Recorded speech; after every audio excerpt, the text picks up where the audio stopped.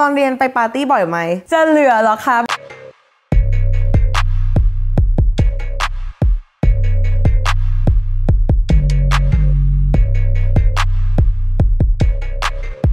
สวัสดีค่ะ วันนี้นะคะก็กลับมาพบใส่อีกแล้วนะคะ ใน Topic Q&A นะคะ Question and Answer ของไปเรียนต่างประเทศ Edition แล้วกันใช้รวบรวมคำถามมาแล้วนะคะ 18 คำถามที่ทุกคนส่งมาก่อนอื่นนะคะ ขอโทษนะคะ ที่คลิปนี้ออกมาช้ามากหวังว่าจะไม่ทำให้ผิดหวังนะคะ เริ่มกันเลยนะคะคำถามแรกทำไมได้ไปเรียนที่นู่น เรียนด้านอะไรทำไมได้ไปเรียนที่นู่นเพราะว่าสอบติดนะคะ ก่อนอื่นบอกก่อนเลยว่าจะอยู่โรงเรียนชื่อว่า ISB หรือว่า International School of Bangkok เป็นโรงเรียนอินเตอร์โรงเรียนแรกในเมืองไทยทางโรงเรียนเนี่ยเขาจะมีเป็น counselor หรือว่าคนแนะนำเป็นครูเนี่ยแหละค่ะ counselor เขาก็จะแนะนำว่าเราชอบด้านไหนเราอยากเรียนแบบไหนแล้วเขาก็จะไกด์คือไซก็รู้ตัวมาตั้งแต่เด็กนะคะว่าไซชอบ art อันนี้ก็มาถึงคำถามที่พ่วงมานะคะ เรียนด้านอะไรไซเรียน fine art แบบแผนกศิลป์อะไรเงี้ย BA เรียนจบมาด้าน fine art ทำไมถึงเลือกเรียนด้านนี้ เลือกเรียนด้านนี้เพราะว่ามันเป็นความฝันตั้งแต่เด็กๆอยู่แล้ว คือเราเป็นคนที่ชอบอะไรด้านศิลปะอยู่แล้วจะทำแบบไซ specialize ในด้าน painting นะคะก็ชอบวาดรูปชอบเพ้นรูปชอบอะไรอย่างงี้มาตั้งแต่เด็กแล้วก็มันไม่ใช่แค่นั้นนะคะแต่รู้สึกว่าไซชอบพวก artistry เลยถึงไซจะไม่ได้ major artistry เต็มตัวนะคะ แต่คือไซชอบแบบประวัติชอบความเป็นมาเพราะว่าอาร์ตกับประวัติศาสตร์อะ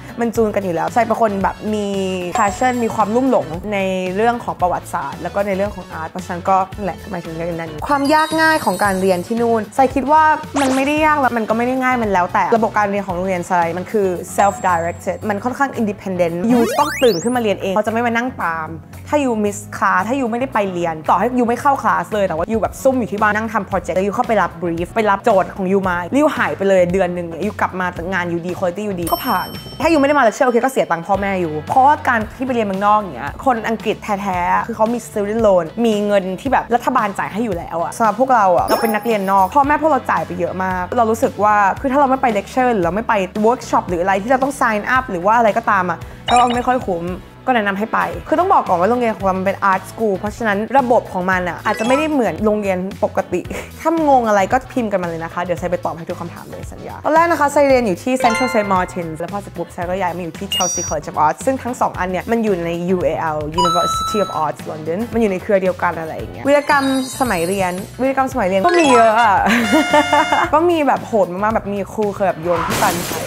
บอกว่างานห่วยแล้วไซก็บอกไม่ห่วยเขาก็แบบมันห่วยไม่ห่วยไม่ห่วยคือเขาโอเคไม่ห่วยเขาไม่ได้ประชดนะเขาแบบยอมรับอะว่าเราแบบเราคิดว่างานเรามีคุณภาพจริงๆอะและสำหรับ artist นะบางทีมันอาจจะฟังดูติสต์สำหรับหลายๆคนที่แบบไม่ได้ทำด้านนี้นะแต่คือพอ you เชื่อมั่นในงาน you มากๆอะคนอื่นก็จะเริ่มเชื่อด้วย อันนี้เรื่องจริง เพราะว่าแบบสุดท้ายเราก็ได้แบบเกรดแบบโคตรดีอะไม่ใช่เกรดดีหรอกนะได้แบบ top อะ ววิธีกรรมสมัยเรียนมีอีกอันหนึ่งเรื่องการดื่มเป็น culture ของเขาอยากบอกทุกคนก่อนเลยนะคะคือที่เมืองไทยคือแบบมันห้ามใช่ไหมเรื่องพวกนี้ที่อังกฤษเนี่ยคือมันเป็นวัฒนธรรมเป็น culture ถ้าจะเป็น tradition ของเขาเลยว่า ทุกคนจะหาเรื่องดื่ม ทั้งครูทั้งนักเรียน สมมติว่างานจัดปาร์ตี้สมมติว่าแบบจบปีอะไรอย่างเงี้ยก็จะมาเลยไวน์มาเป็นถังอะคนก็จะแบบดื่มในงานดื่มในโรงเรียนก็มีพิธีกรรมอันนึงพอดีก็จะมีเพื่อนคนหนึ่งที่แบบเป็น alcoholic อะชื่ออเมลิอาโนเขามาจากเม็กซิโก เหมือนเขาพก flask กับเอาเข้าเลคเชอร์ไปนั่งดื่มใช่ก็แบบ ขอว่าง แล้วก็ใส่แก้วกาแฟเลยเว้ย กินผสมกับกาแฟเลยเว่าวอดก้าจำได้ ก็นั่งกินในเลคเชอร์แต่เราก็ไม่ได้ไปแบบรบกวนใครไม่ได้เสียงดังโวยวายบางทีคือยังแฮงก์จากวันก่อนหน้านั้นมาอยู่เลย ขอคั่นบอกกันนะว่าไซเป็นคนแบบ work hard play hard harder maybe sometimes ไซเที่ยวเยอะมากนะ แต่สิ่งที่ไซภูมิใจคือเกรดฉันไม่เคยตกไซเที่ยวถึงตีสามตีสี่เก้าโมงจะตื่นไปเรียนได้ทัน มันคือสิ่งที่ไซอยากจะเตือนทุกๆคนไว้ว่าเที่ยวหนักได้ แต่อยู่ต้องมั่นใจว่าวันต่อมาอยู่ตื่นมาได้ แต่ไม่สามารถจะบอกได้ว่า คุณจะต้องทำอย่างนี้อย่างนี้อย่างนี้ คุณห้ามเที่ยว หรือคุณเที่ยวไปเลยมันไม่ได้ สิ่งแรกก็คือ be honest ต้องจริงใจแล้วก็อย่าตอแหลใส่ตัวเอง ถ้าเรารู้ว่าเราเป็นคนอย่างนี้เราตื่นสายเราเป็นคนชอบกด snooze button ชอบกดนาฬิกาให้มันซื่อต่อไปอยู่ก็จะต้องตั้งนาฬิกาปลุกตั้งแต่แบบ 2 ชั่วโมงก่อนอยู่จะตื่นจริงๆ ต้อง honest กับตัวเอง ต้องจริงใจแล้วก็ซื่อตรงกับตัวเองให้มากที่สุด ปรับตัวยากไหมสาวใช้ไม่ยากเลยใช้ไม่รู้ว่าเป็นเพราะว่าใช้อยู่โรงเรียนนานาชาติมาก่อนหรือเปล่าใช้เป็นคนค่อนข้างเข้ากับคนง่ายแต่ใช้เข้าใจนะบางคนมันอาจจะมีแบบโฮมซิกหรือว่ามาคนเดียวเลย หรือว่าคนที่แบบอาจจะแบบพูดภาษาอังกฤษไม่ค่อยเก่ง ไม่ต้องไปกลัวมันนะทุกคนคือพูดภาษาอังกินไม่ค่อยเก่งนะเว้ย ยิ่งโรงเรียนอาร์ตนะ คือแม่งแบบ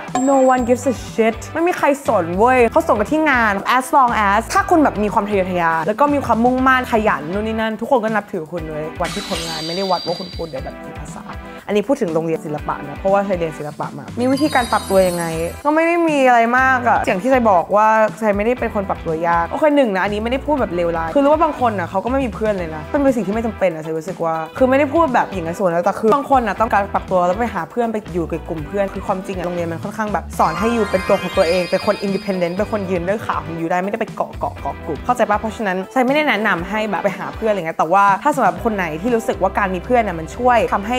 อยู่แบบ มีส่วนร่วมขึ้นฉันก็แนะนำให้แบบหาเพื่อน การมีเพื่อนเป็นคนไทยด้วยกันมันก็ดีนะ แต่ใจรู้สึกว่าถ้ายูจะไปเอาเรื่องภาษาอยากปรับตัวเรื่อง culture ของเขายูก็ต้องพยายาม blend in การ blend in มันคือการเข้าไปอยู่ในสังคมนั้น แล้วก็พยายามแบบซึมซับสังคมนั้นเข้ามาในตัวอะไรเงี้ยการนั้นก็เป็นการปรับตัวที่ก็ต้องดีใช่ไหมต่อไปสังคมเพื่อนฝูงเป็นยังไง ก็ดีนะคะ คนส่วนใหญ่คือโรงเรียนอาร์ตก็บ้าๆเนี่ยทุกคนมันไม่มีคำว่าแปลกรู้สึกว่าใส่ fit in มากๆ คือทุกคน stand out อะมันไม่มีใครเหมือนใครจริงๆอะแล้วมีคนแบบที่คนอาจจะคิดว่าแปลก เช่นคนที่แบบไว้คาวยาวมากๆเนี่ยแล้วแบบเอาเกม connect ห้อยไว้แล้วบางวันก็มีแมงมุมห้อยคนที่เดินผ่านไม่มีใครแบบ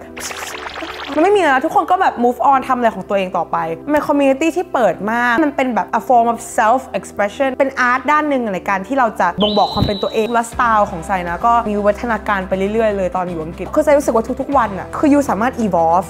ยูมีวัฒนาการไปได้ทุกวัน วันละนิด วันละนิด วันละนิด ไม่ว่าจะเป็นด้านความคิด ด้านเรียน ด้านนู่นด้านนี่ เพราะฉะนั้นก็นั่นแหละ คำถามคือสังคมเพื่อนฝูงเป็นยังไง นี่มาแบบวิวัฒนาการชาร์ลส์ดาร์วินอะไรวะคือสังคมเพื่อนฝูงก็ชิลคนหลายแบบมากๆซึ่งมันน่าสนใจแล้วไซก็แบบ friendly กับทุกคน เพื่อนที่สนิทที่สุดสนิทกันได้ยังไง คือไม่มีเป็นคนเดียวที่สนิทที่สุดมีกลุ่มที่ค่อนข้างสนิทนะคะแล้วก็สนิทกันได้ยังไง ก็ตอนแรกไม่ได้คิดว่ามีอะไรเหมือนกันเลย มีคนหนึ่งเหมือนแบบนิ่งๆดูไม่ใช่สไตล์เลยไม่ได้แบบเหมือนดูจะเข้ากันได้พอคุยไปแล้วปรากฏว่าชอบหนังสือเหมือนกันชอบนักปรัชญาคนเดียวกันชอบ artist คนเดียวกัน แล้วก็แบบกลายเป็นสนิทมันเลย เวลาไปอังกฤษเนี่ยก็นัดเจอไปเจอที่บาร์ไปกินข้าวไปอะไรอย่างเงี้ยเออความจริงมีคนหนึ่งที่สนิทมากอะตอนนี้เขาทัวร์อยู่ที่ Southeast Asia แล้วเขาเพิ่งมาเมืองไทยไปเองเขาเจ๋งมากเดี๋ยวไซใส่ลิงก์ของเขาไว้เผื่อคนชอบเขาจะไปทางแบบ drawing เทพเทพเทพแบบเจ๋งมากเดี๋ยวเราใส่ลิงก์ให้คนนี้ชื่อแซมนะคะแซมโมนั่นแหละก็สนิทกันเพราะว่าไซกับเขาว่ามีคลาสด้วยกันเยอะเหมือนได้คุยคุยกันแล้วก็เริ่มสนิทกันขึ้นเรื่อยๆเรื่อยๆเรื่อยๆสุดท้ายก็มานั่งติดกันเลคเชอร์แล้วก็ไปเที่ยวด้วยกัน and the rest is history